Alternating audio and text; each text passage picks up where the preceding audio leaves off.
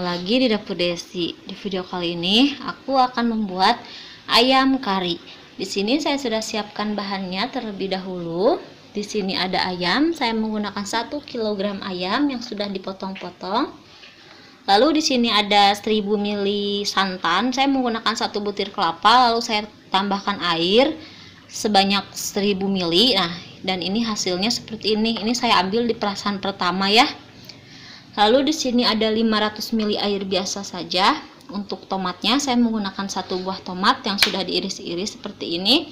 Kalau teman-teman gak, gak mau pakai boleh, kalau mau pakai silahkan ya bebas saja. Untuk bumbunya di sini sudah ada cabai merah besar yang sudah saya buang bijinya terlebih dahulu. Saya menggunakan dua buah. Ini sebetulnya yang satunya kecil ya. Lalu di sini ada 5 butir bawang putih. Tuh, tapi ini dua-duanya kecil itu empat butir aja. Lalu di sini ada 5 siung bawang merah satu ruas kunyit satu ruas lengkuas secukupnya kemiri. Lalu di sini ada ketumbar bubuk saya menggunakan satu sendok makan. Di sini saya menggunakan setengah sendok teh jinten. Di sini saya menggunakan setengah sendok teh merica bubuk. Lalu di sini ada dua batang serai daun jeruk 3 lembar, daun salam 3 lembar. Sekarang saya akan haluskan bumbunya terlebih dahulu. Saya masukin bawang merah, bawang putih, kunyit dan juga lengkuas, lalu kemiri. Kalau teman-teman menggunakan kemiri yang bulat gitu ya, nggak bubuk seperti saya ini, gunakan 5 butir saja ya. Nah, sekarang saya gunting cabenya.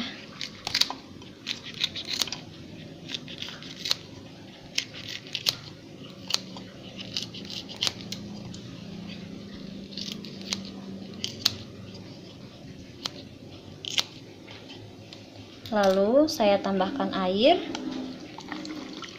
Nah, sekarang saya akan blender. Nah, teman-teman, ini bumbu yang setelah saya haluskan sudah halus. Dan di sini saya sudah siapkan minyak secukupnya saja untuk menumis bumbu halusnya. Minyaknya pun sudah panas. Saya akan masukin semuanya.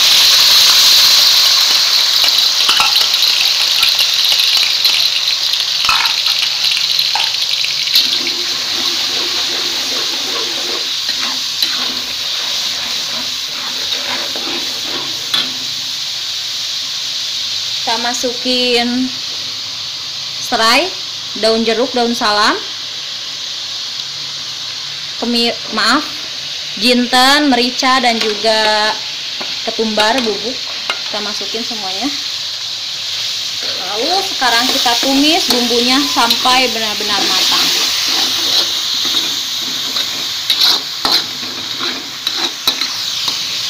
Nah teman-teman ini bumbunya sudah matang udah wangi sekali.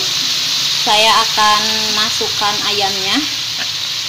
Saya masukkan semuanya.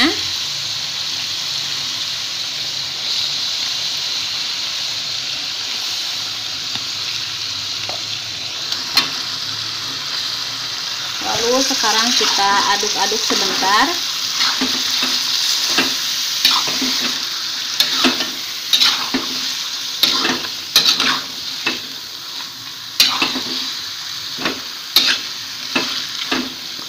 sekarang saya akan masukkan santan. Saya masukin semuanya. Dan juga air sisa tadi ya 400 ml lagi karena tadi saya gunakan untuk blender. Nah seperti ini. Sekarang saya akan masukkan garam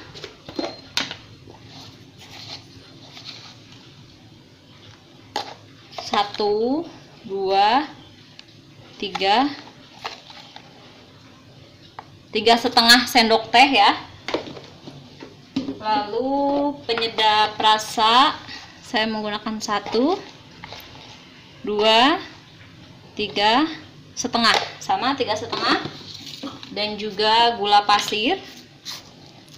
Satu dua. Dua sendok teh saja gula pasir kita aduk-aduk sebentar. Nah sekarang kita tunggu ayamnya sampai matang dan santannya mendidih. Nah teman-teman ini santannya sudah mendidih dan ayamnya pun sudah matang. Saya aduk-aduk sebentar. Lihat ya ayamnya sudah matang. Saya akan masukkan tomat.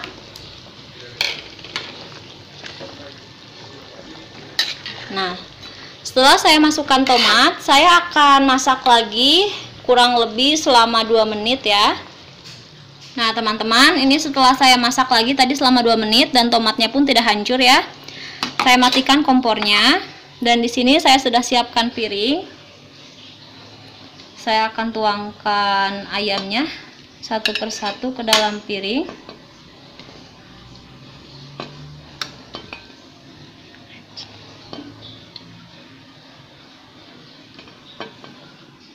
Nah, teman-teman, ayam kari ala dapur Desi sudah jadi. Untuk teman-teman yang sudah nonton video ini, jangan lupa subscribe, like, dan juga komen. Sampai ketemu di video selanjutnya ya. Bye-bye.